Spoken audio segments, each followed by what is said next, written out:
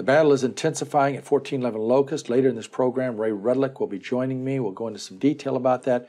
But first, we want to talk about the, uh, Ukraine. And my grandson Chris Aaron is joining me. Chris Aaron, you've been to Ukraine on numerous occasions. You've been studying. You get the Ukrainian news, mm-hmm. uh, and, and a lot of insight that we may not get on the American news. Is that correct? Yeah, I get a lot of the updates that are happening from the official Ukrainian news source. Um, there is so much destruction that is happening every single day, mm-hmm. and I think people are just weary, weary of the invasion, weary of the destruction, weary of the toll that this takes on their mind, their body, their heart. I reached out to my brother-in-law, and he, he says, "I feel empty." You know, and, and that's the thing is like when we have a catastrophe like that, after going on fumes for so long, it's easy to feel empty, empty of um, anything that you can give to another. Well, let's hear from some of the people in the Ukraine.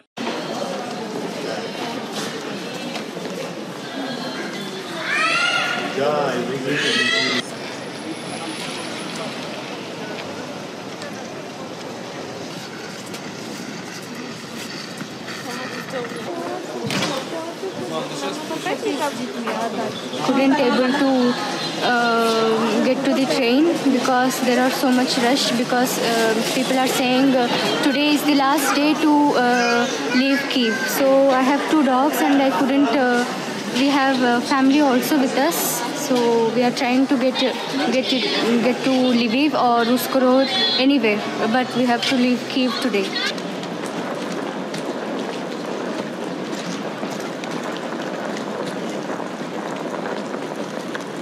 Мы остались в Киеве, бегаем в подвал, тревожимся, дрожим, но мы верим в победу. Андрей. Хотелось бы, но вы можете снять, даже коту. Все есть. Бананы, масло, круасан даже свежий. Всі сидять по бомбосховищах, ніхто не виходить і дуже часто сирени в місті. Така ситуація. the biggest nuclear power plant in Europe, blocked by hundreds of unarmed workers and residents on the front line of Russian advances.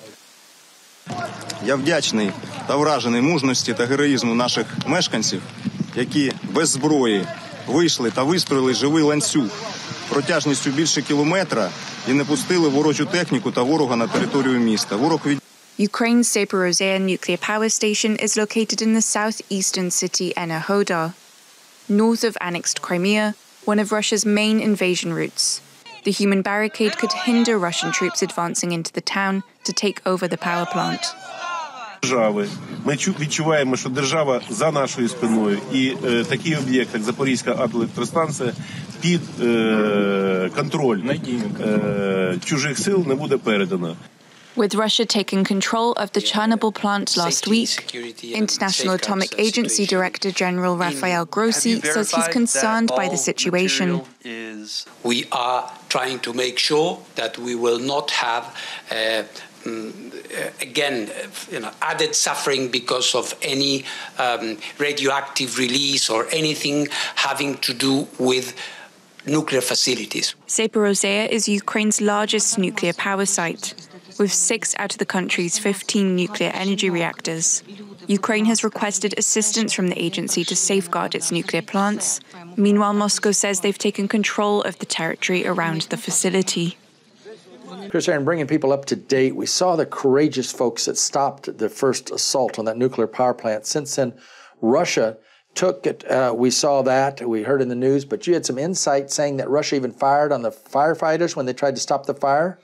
Yeah, we, we had firefighters there on scene trying to put out the fire, and uh, Russians were attacking them. And um, there's just so much. They were laying landmines in and around the office buildings um, of the power plant. Of the power plant, just trying to do anything they can to um, really destroy this very sensitive building that's, that's containing a nuclear catastrophe. It would uh, Chernobyl only had one block. This plant has six blocks, six nuclear reactors. It would just completely cover the country and and spread into it's Europe. A, it's the largest nuclear power plant in Europe, is what it is. Yes.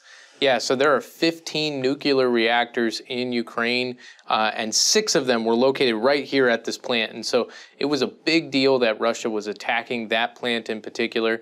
Uh, the fires were um, it managed eventually, but it takes a long time um, to to keep the nuclear reactor just safe, uh, especially when they're being bombarded like that by, by Russia. The Ukrainians are trying to help each other. They're trying to survive. I understand your brother-in-law even gave up his apartment so refugees could have that. So he went back to live with his parents. I mean, a lot of stuff going on in there. Yeah, and just long term, this is this is the kind of invasion. This is the catastrophe um, that will take years and years to really rebuild. Uh, and there's a lot of different factors that people don't think about. The su- supply chain for food and medical supplies are being broken.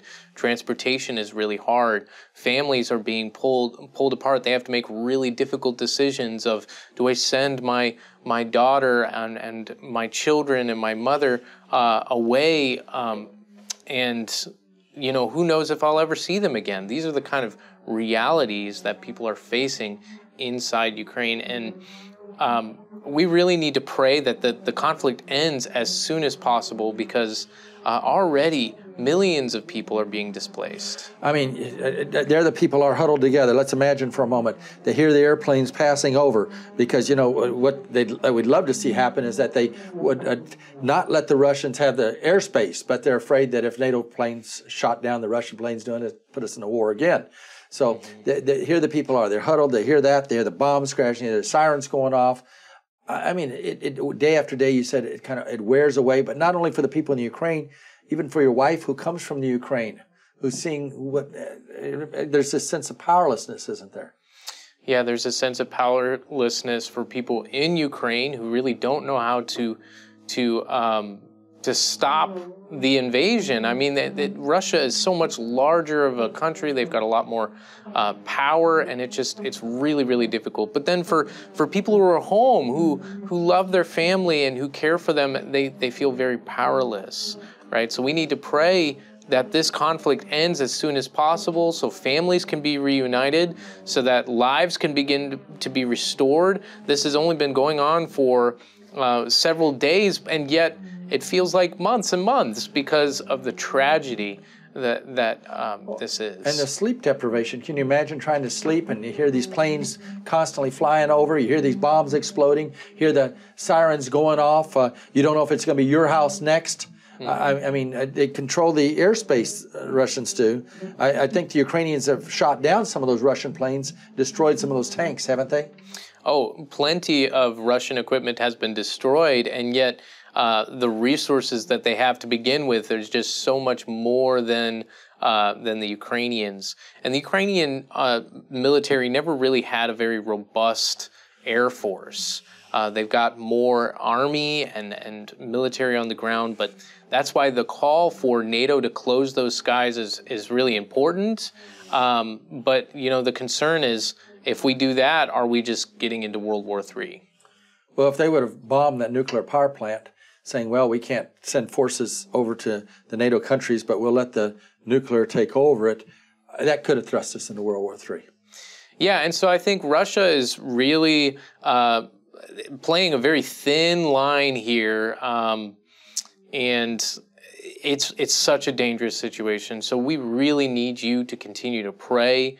Um, don't get tired. Don't get weary of praying because um, that's one of the best ways that you can help. There, there are other ways to help. Um, talk to your, you know, call your representative, call your politicians, and try and get them more actively involved in helping Ukraine during this time. I want to add to what you said. Satan can't stop God from answering prayers, but he can try to stop Christians from praying. Mm-hmm. So we've got to understand there's a spiritual battle going on there. Um, we uh, seeing that take place in the Ukraine. In fact, we're seeing it take place. You're involved in another battle in the St. Louis area at 1411 Locust. I mean, that's a spiritual battle. We're seeing it's nothing for, short of diabolical that uh, many people they're not praying, they're not fighting. I mean, for a church to get shut down in this way at 1411 Locust because people developers that are moving in the neighborhood, um, you know, don't want that kind of church there. NIMBY is a big deal, thing, what they call it. Yeah, not in my backyard. NIMBY um, is a, a mentality of not I, I don't want to see it. The the way that I will solve homelessness uh, for me and my community is to just push them out and push them away, and it doesn't work. It doesn't achieve your ends, and it doesn't really solve uh, or help anyone break the cycle of homelessness.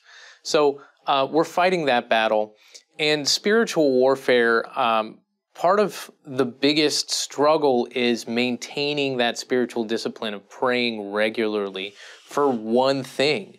We have a, a short attention span here in the United States, and so uh, we lose track of, um, uh, we lose that passion, that initial passion uh, for prayer. So it's so important to to continue. Well, that's what Putin's saying. Not in my backyard. I don't want NATO in my backyard. I don't want the Ukraine in my backyard. If I can't control it, kill it. I mean, and let's face it. Some of these letters that they're writing in the paper, and the rest of these people could get away with it. They'd like to take all the homeless and dump them in the river knock them off, get them out of the way. One lady even over at uh, the nearby condominium had mentioned before if uh, she had a BB gun, she started a BB gun, she probably something more she liked, she'd start wanting to shoot them because she didn't want to see them down there. So I'm just saying that same diabolical mentality when taken to extreme is what you have when you got Putin going after and killing people in the Ukraine, not in my backyard's what he is saying.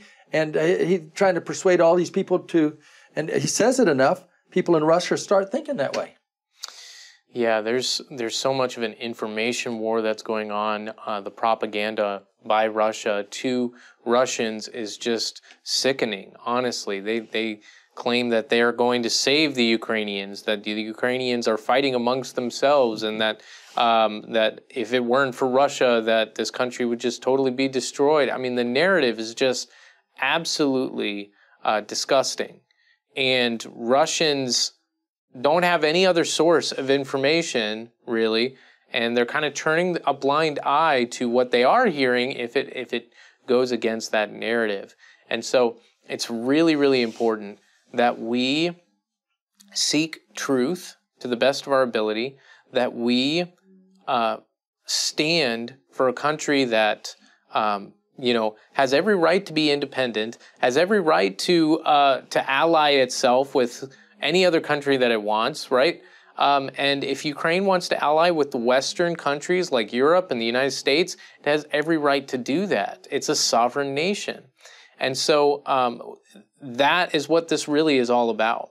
And Russia is doing everything it can to squash uh, the government in Ukraine. Um, Zelensky has had three attempts made on his life recently.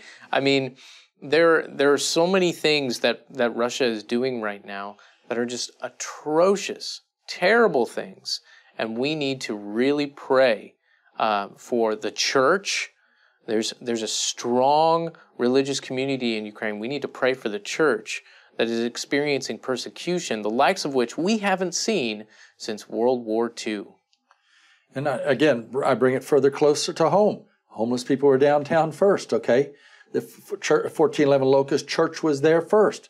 People come in the neighborhood. They can't control it. They get politicians buy off like Slay and uh, Krewson, uh, the, uh, the mayors. And then what happens is they want to shut it down. And then they do everything they can to keep it shut down, even appealing when the city says we can go ahead and build there. I mean, we, it's same wicked thinking, same uh, wickedness. Uh, again, a diabolical force. And we need the church to arise. We need people to pray. Yeah, absolutely. There's so many things that are going on right now, and the spiritual warfare is, is hot and contested. And uh, we need more people to partner alongside us in prayer for Ukraine, in prayer for all of those who are suffering from um, Putin's evilness, and then also uh, pray that we are able to open up 1411 and begin to really minister to the homeless again, um, as we have for five decades. We we have been faithfully trying to serve God um, by being a part of the community um, in serving the hurting, the hopeless, the brokenhearted, right? And um, whenever whenever we see this persecution, what we really should see is an opportunity to love others as Jesus loves us, right? To push aside the the stigmas, uh, the preconceived notions that we might have of others, and to really seek how can I serve you? How can I see you as uh, more important than my, myself, how can I imitate the humility of Christ?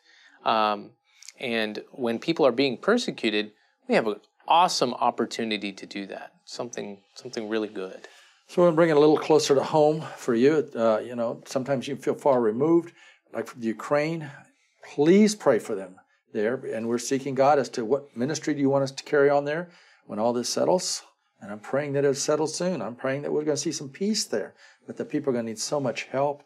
Uh, we're trying to do this in India, other locations. But right here in our own backyard, there are people that are hurting. They're left wandering the streets all day long because of the bigotry of a few there's so many people remaining silent as they allow a church at 1411 Locust to be shut down that wants to do more than preach. It wants to also be doers of the word. I want you to hear from some of those, and I'm going to be back with Ray Redlich. Hello, everyone. My name is Jeff, uh, and I'm down here at City Hall with Larry Rice. Uh, glad to be here. I just got some bus tickets. They uh, they're a big help to me. They uh, help me to get around. Uh, make a point, excuse me, uh, make it to appointments and take care of business. Uh, I want to thank Larry, New Life, uh, also other entities out there uh, who have helped me, and just and people that just come out uh, and and try to help. Just they just hit the streets. It, it just amazes me. Uh, and I'm just thankful for it. I'm blessed. My name is Isaac Smith, and I just got these clothes. I woke up very cold and hungry, and I finally got some food and some clothes, and it was really, uh, it was actually just really nice. Really appreciate it. Also, uh, I want to talk about the facility at 1411 Locust. Uh, I'd like to see it reopened uh, to further help people who need help. Uh, some folks just need some place to go during the day. Uh, it could be a warming center, a cooling center. Uh, you could learn the Word of God there, learn about the Word of God. And uh, it would help get some people off the street for some time at least. There's uh, different things that could take place there that could benefit people. And I'd really like to see it reopened. Yeah, we got to open up 1411 during the day, yeah, because uh, there's nowhere to go during the day. And it's a good resource spot to warm up. And some people work at night and they need it during the daytime. These are just a few of the growing numbers of homeless people that are desperate and want to see 1411 Locust open back up. Joining me is Ray Redlich. Ray's on the front lines daily out there among the homeless. We hear it constantly from them. When will you open the building back up, right, Ray? Yeah, we sure do. People are, are really. Uh eager to have it to see it open. They they know that they can get more help when the building is open, and keep asking us. And of course, I got to try, try to help them understand the uh, the bureaucracy of the city and the and the, the the the facts of life. You know that there are some people who just don't want the homeless around at all. Just like Putin doesn't want the Ukraine around. Okay, yeah, yeah, you know, not in my backyard. Yeah. Only he thinks he's getting away with bombing, blowing, killing people. I mean, there's uh, people in these buildings they get away with it. They would do it. I mean, they they engaged in illegal lynching. 2012 they started it. 2017 we saw the legal lynching thrust us on the street, threw you and me out on the streets with the homeless. I think the fact we're out there with them though has helped us build some real relationships that when we oh, open yes. back up, we're going to be better. Yeah, and it's it's helped me to to understand the homeless a whole lot more since I've been going out for the past nearly five years now, going out on the streets. It's given me much deeper in, insight and I think empathy with the homeless. I wish some of these people that write those nasty letters uh, and on blogs and responses in the newspaper and other places would see that and, and knew the people. Yeah, uh, often they're writing out of out of ignorance or uh, just out of uh, a hard-heartedness. Uh, they don't, yeah, like you said, they need to get out and meet the people and get to know them as people and uh, to really have an objective view of, of this whole situation. This uh, attorney, Elkin Kistner, has probably made hundreds of thousands of dollars off as in legal fees from these neighbors. So, and, and the last appeal they filed was just way off the wall. I don't even think they read our architectural plans, trying to contend that uh, all this stuff that we didn't even say in the plans. You mean the current appeal, right? The yeah, current, yes. Right. Well, they, they, they the just filed one. it. Yeah. yeah. they just filed it, and uh, right. I mean, basically, they're uh, They're saying that we're trying to open up a, a shelter. They're, they're using that term shelter, uh, to, trying to use that against us because, uh, because in order to open a shelter, you have to go and get signatures from the neighbors and so forth. But we're not trying to be a shelter. Uh, we're, we're trying to be a church ministering to people's needs. It's phase one. That's what it is. Now you say, what about phase two and three? Well, that we sit, stand back and evaluate it all. We've taken care of a lot of homeless people through our safe houses, residential training program, pop-up shelters developed. A lot of pop-up shelters at night. It'd be great to see uh, here what we see in Springfield, uh, where they literally Springfield, the Ozark Partnership begged us to stay open longer. They send buses, pick people up. They've even donated for us to doing that Wow. longer in Springfield, and they fought Yeah. it. And then they bring them back in the morning. So yeah, we're working together here in St. Louis. They got it, the pop-up shelters. They put them out on the streets. So when it comes to evaluating shelter, will it be in that building, or will we talk about maybe opening a large shelter in St. Louis County where they really don't have that out there? We're going to evaluate that need. But right now, we just want to open up as a church. And the trouble with people like this Elkin Kistner and uh, uh, Matt O'Leary and people behind this uh, working this whole system to try to keep us out, they think church is just somebody coming out preaching once a week, going away. They don't understand what the real meaning of church is, do they? Right. No, the church is more than just uh, once, you know, just on Sundays only. It's it's helping people too, reaching out to the community around us. We find ourselves in downtown there, where there are a lot of homeless people, and yes, we want to reach out and, and help them, providing services. And we, we make no uh, uh, uh, pretension about that. Yes, we want to provide services. We want to help people there in that facility. Uh, it seems that uh, those who were trying to thwart our efforts, on the one hand, when we tried to get specific, say we're going to do this, this, and this in the building, then they said, well, we're we're getting too detailed about it. so then, when we, if otherwise they say we're being too vague. It seems you can't win for losing. They, they- they're they are determined that we would not open. I mean, they- they'll use whatever ploy they can, I, I believe, to to keep us from opening. Uh, even if it might be contradictory, they'll they'll do whatever they can. We see a spiritual battle, a total different one than what's in, uh, the horrendous thing that's taking place in Ukraine. But also, there's the similarities be such. You know, there's the behind the scene Putins in downtown St. Louis working them and manipulating the whole thing. Instead of using guns and weapons, uh, thank God they're using the legal system. Uh, they're trying to they use the legal system to try to shut down the most vulnerable. It all comes down to the fact they don't want the homeless in downtown, but they're already there. They're already there. Yes. Everywhere. Yes, and uh, you know, I uh, comparing the two situations in Europe and here in St. Louis, I see the common denominator is arrogance. People feel that uh, there are some people who feel that they can just come into a neighborhood, come into an area, and push everybody else out.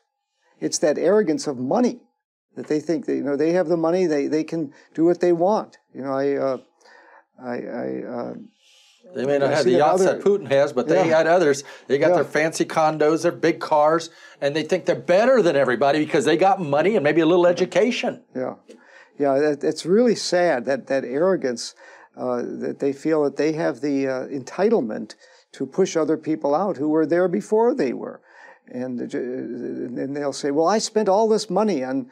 Uh, in, in, in this to, for this loft or whatever, and uh, I don't want to see this and this. Well, you know, those are things. If the, the homeless were in the area already, they should have taken that into consideration. It's pure bigotry. Nothing short of outright bigotry. Yes, we got to pray for the battle that's going on overseas, a major spiritual battle between Russia and its oppressive force in Ukraine. But look at the one in your own backyard. Yes, you want to get involved in different issues, but there's a, a church being shut down. Uh, you know, I, I have Muslim friends that feel very strong about this issue. I shouldn't have to call forth my Muslim friends to fight to open a Christian church. The Christians should do something if they're true believers to let a fellow Christian church, whose congregation is primarily the homeless, we want to open up as a church, want to have regular worship services there, want to see our congregation get jobs and, and you know, get housing, bringing in other agencies, sharing the gospel of Jesus Christ. I think that's what's so unique. In fact, I had homeless people telling me that this very morning. I appreciate your Bible studies. We don't get them out here. There's a lot of agencies giving out food and different things, but who's preaching the gospel of Jesus Christ to the homeless on a regular basis? They shut down Salvation Army when it was down there. They shut down Sun, Sunshine Mission that was down there when you and I first got started in this work. Mm-hmm. New Life continue to preach the gospel, and the devil wants to shut it down and keep it down. So people better rise up and fight. They better start praying. They better get down and understand this is a spiritual battle. Yes, I, I hope that Christians will see that, that we are not just a social service agency.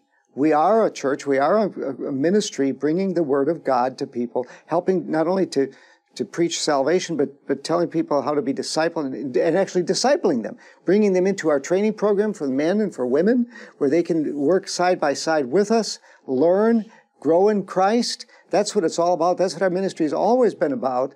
And we want to continue to do that. And we can do it a lot more effectively if we have a, a base, you know, a building open there in downtown that people can come to.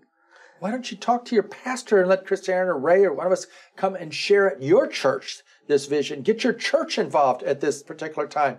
We'd come fight for you if somebody's trying to shut down your church because the neighbors didn't like it. We're asking you to help us right now to help the most vulnerable people in, uh, in our community, the hurting and the homeless, the very ones that Jesus said, when I was hungry, did you feed me? Naked, did you clothe me? Sick or in prison, visit me? A stranger, homeless, did you welcome me as often you done to the least these, even so you done to me? People better go back and reread Matthew 24. We're seeing unfold today. Moves right into Matthew 25, the parables uh, the wise and unwise virgins, and also, you know, the ones given talents that weren't using their talents for the glory of God. What happened to them? We got to use our talents for the glory of God, and then takes us right into this, what I just quoted, helping the most vulnerable, the hurting, and the homeless in these last days. Right, and we want to continue to do that. We want to speak the truth in love. That's what it's sometimes not easy. It's, it's easier, easier just to, to close our eyes and forget about it on the one hand, or on the other hand, to speak the truth but not in love and become speak out of the flesh. We have to always stay in the spirit, walking with the Lord, walking in love, and then but speaking the truth, letting people know about injustice, bringing bringing forth these issues. You're either working with the Lord under His direction that He's given such clear directives to help the hurting and homeless, or you're working against Him. And si- the silence is deafening that's coming from the quote Christian community at this time. That you let this stuff happen. Now, how can you help? Number one, you can pray. As I said earlier, Satan can't stop God from answering prayers, but he can stop you from praying. So you need to pray. You can volunteer. Get involved with Ray, Chris Aaron, and the rest of the team. Ray, Chris Aaron working on this. Uh, Jeff Schneider's working on this. My wife Deborah's working on it. Help this committee, help this team right now to get it open back up. So many things you can do. You want further information? You can write us, P.O. Box 473, St. Louis, Missouri, 63166. You can contact us uh, through email. You can get directly in touch with us by calling 314 421 3020. But we need the body of Christ at this moment to stand with us, don't we, Ray? Because they've, uh, they've again opposed uh, us, they've appealed to the Board of Building Appeals. We hmm. need people to stand up and, and donate at this time, too. Yes, that's, that's all needed. We, we want to uh, be able to do the renovations. Uh, I know just yesterday I, I t- talked with uh, Jeff Schneider, who's yeah. coordinating a lot of this with the with the uh, uh, various contractors, and uh, we we want to move forward. We definitely do, and we can if you'll pray for the New Life Evangelistic Center. Include it in your will. Share a very special gift right now. You can mark it for 1411 Locust. We'll use it that. A lot of repairs we need to do, but we're going to do it for the glory of God. The homeless have nowhere else to go uh, during the day downtown St. Louis. We can plug them in into our residential training programs, safe houses, help break the cycle of homelessness, get them jobs, help transportation assistance, and much, much more. Please send that gift now to New Life Evangelistic Center, P.O. Box 473, St. Louis, Missouri at 63166. We're up against some major spiritual battles of people like Putin saying, Not in my backyard. Well, let's stand up against those people now through the love of our Lord Jesus Christ.